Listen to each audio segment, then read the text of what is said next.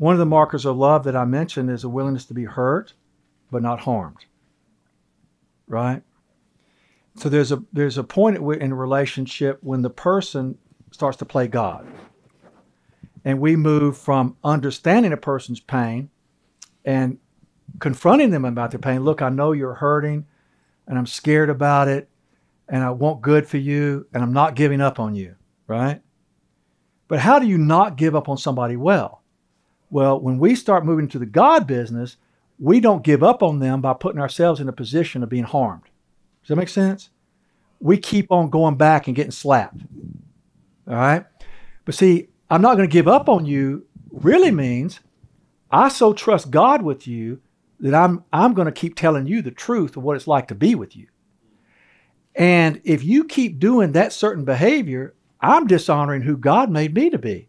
So I'm not going to be around you. Now you're giving them to God instead of playing God.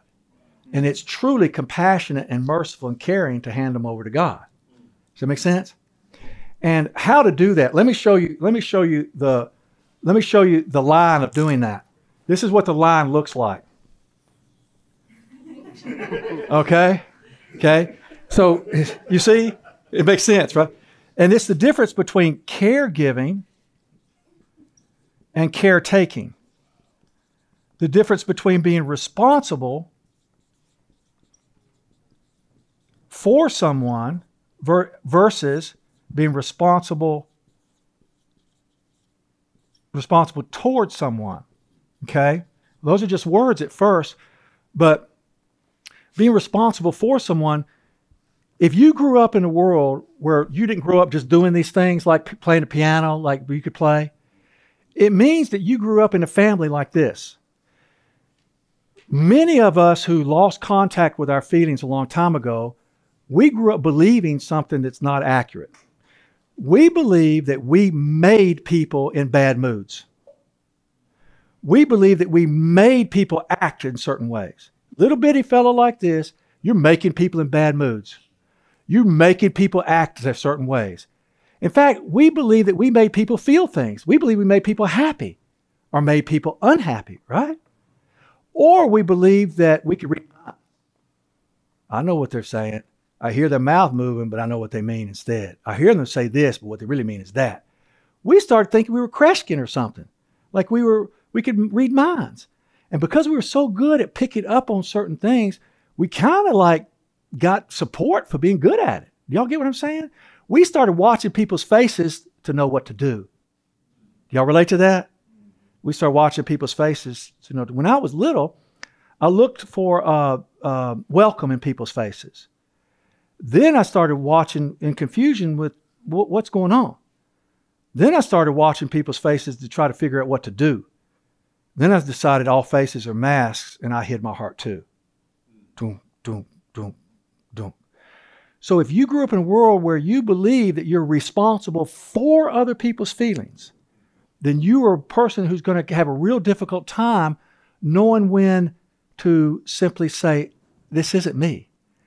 And people who are responsible for other people's feelings become caretakers rather than caregivers, which means they believe they have to take care of other people's feelings for them.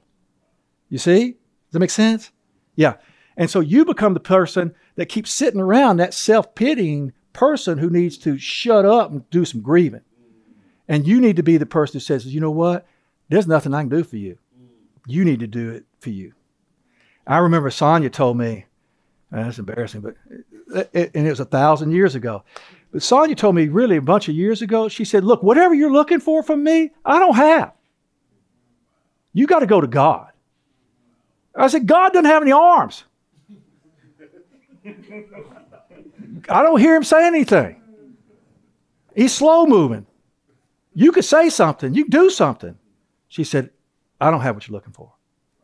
What love? What care?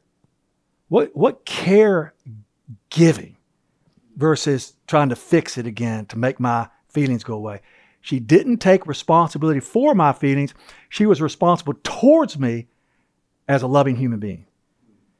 And see, she had to have enough ownership of her heart to tell me that she's out of the God business. Does that make sense? And it's very difficult to learn. How will you know? That's a big question. You'll know based upon how you feel. If you feel a lot of the pressure of should around another person, what am I supposed to do? What should I be doing? What should I be saying? What do they want me to do? What should I? And you're confused around a person. If you're confused around a person, you're around somebody who's confusing.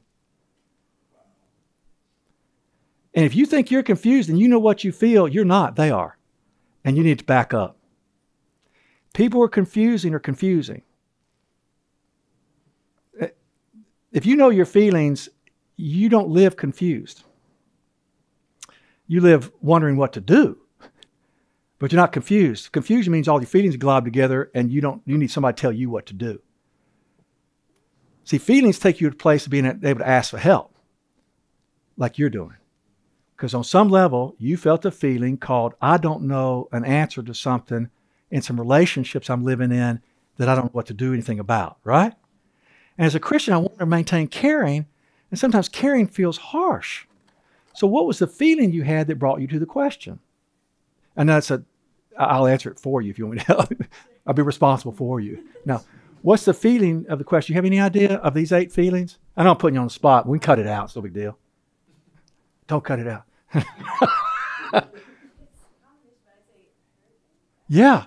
Yeah, you've been getting hurt, and you ask the question, How do I do something? Because you're afraid. Like, how do I do this? I don't know the answer. I don't, uh, what's the answer? This is scary to not know what to do. Because I care about this person, but my caring has no impact. I'm getting hurt. Is it, is it okay for me to stop getting hurt? Yes. Yes. So your fear, you knew where you were, the pain, the hurt you're in, allowed you to come to the vulnerability of asking a general question that was really for you to know how to live better. Now, does the question, does the answer help you? Okay, and what is where does it leave you? Okay, and where does it leave you here on this list? I know these are. Okay, glad, relieved when you think about you changing your behaviors towards this person, whoever it happens to be, and you anticipate what you think this person might do with your newfound God strength, what do you anticipate feeling? Relate? Do you? You promise? You're not making it up. Okay. So if she can be willing to know she's not alone and that the loneliness she's experienced is hers to deal with, and she hasn't failed, she needs she needs to be able to turn to somebody in relationship and say, "This is what I'm feeling," even though it doesn't make any sense. That's what I'm feeling. I feel like I failed, and I feel like I won't get to have this person in my life anymore, possibly. But you don't have them anyway, because they're not themselves. They're demanding that you be them for them, just like I was Sonia. No, son, you do this. I'm not going to do it. You do it. You fix this. Make sense? Yeah. Painful, isn't it? Isn't it amazing? And yet it's glad. So you're glad to be in pain? Yeah. Isn't that wonderful? Listen, I've heard people in treatment say, I've never hurt so good. I've never hurt so good. what would you pay to get rid of that hurt? Uh-uh, I'm, pay, uh-uh I'm, I'm keeping it. It's worth it. The pain is worth the trouble.